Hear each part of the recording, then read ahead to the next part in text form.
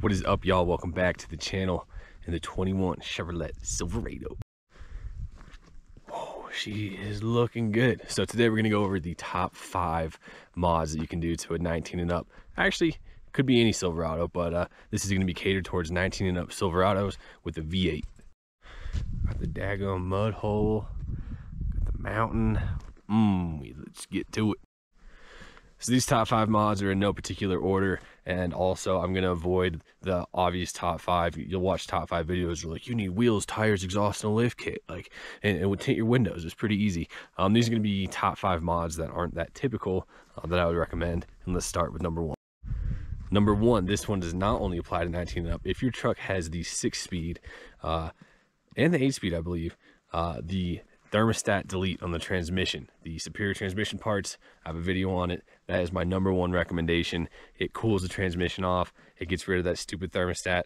There is a service bulletin for these trucks to put a new thermostat in that opens at 158 instead of 190 uh, so you can go that route at the dealership or you can just full on delete it because these trucks do have pretty decent coolers from the factory. So that is number one the superior transmission parts. Thermostat delete for the 6L80 and 8L90. I don't know what the 8 speed, I think that is it. Um, but the 6 speed and 8 speeds, I believe, um, huge. Number one, if you got that transmission. Moving on to number two here, we're gonna go with the range technology AFM DFM disabler. So if you have a 5.3 or 6.2, um, if you weren't lucky enough to get one that had this taken out during the chip shortage, uh, definitely get rid of this system. You can tune it out with the tuner, or for 200 bucks, you can get the range technology chip. I've been over this numerous times, but this thing is freaking sweet. So somehow you have no idea what I'm talking about. These trucks, the V8s, have um, active fuel management or dynamic fuel management, meaning it'll kick out of eight cylinders into four, or if DFM as little as two. Anyway, all you have to do is get this chip here, and you're good to go. It'll disable it and make your truck run a lot better. So that little OBD2 port chip uh, is warranty safe and it'll make your truck run in a V8 all the time and could potentially save your motor from uh, the lifter issues, collapsed lifters, bent push rods, all that stuff.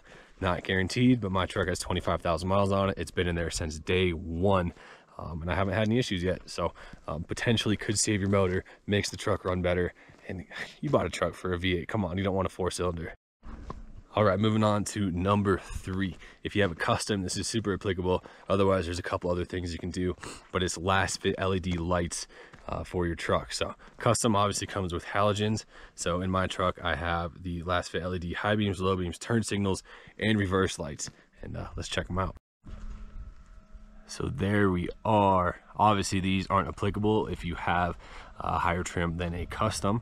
So pretty much any other trim, but you can see high beams, low beams, turn signals.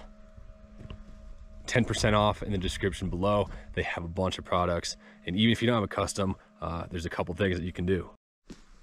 So if you have an LT or LTZ or whatever the hell else, um, you can do the turn signals. The turn signals are not LED from the factory, so you can toss those in. They're pretty cheap.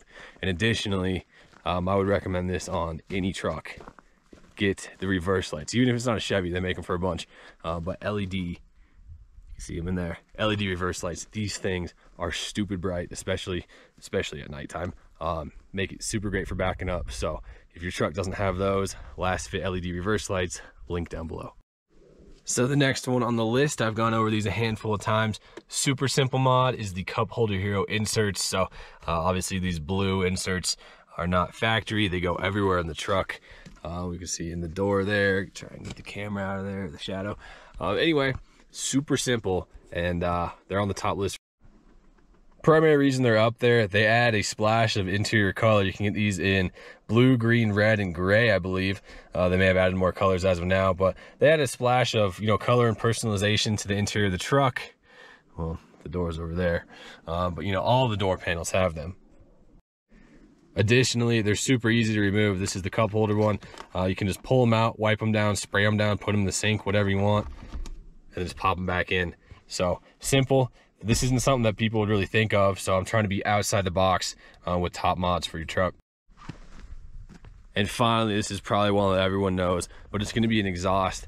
But what I'm gonna mention here in terms of that is a muffler delete. On these trucks, a muffler delete makes it sound pretty dang good, and these trucks are dead silent from uh, from stock. So get rid of that flapper valve, get rid of the muffler. It's like a hundred bucks. It's the cheapest thing you can do.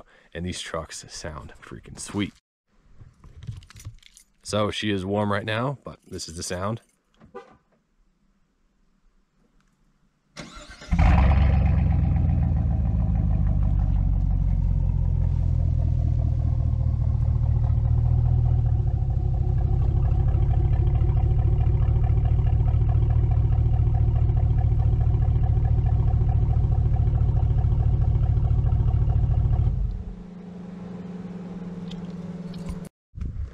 So with a simple hundred dollars, you can make your truck sound way better than it does stock. And I know that is in the, you know, lift kit, wheels, tires, etc. kind of thing, but just a muffler delete, you can buy kits for like 20 bucks and do it yourself. If you cut it and clamp it on to get mine welded in, it was a hundred bucks. So well worth it. Probably top thing that I would do to any truck, at least make it sound like something instead of darn Prius. Now this was a top five video, but since number five was pretty generic with the uh, muffler delete, I know everyone already thinks of that. I'm gonna give you two extra bonus ones. So the first bonus is get rid of that stupid giant antenna. Who uses the radio anymore?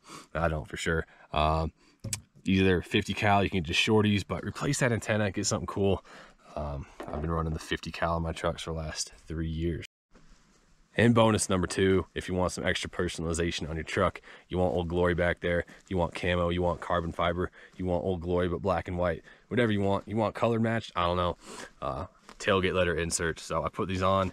I've, I've, liked them since the day I put them on. Get some uh, America back there, baby.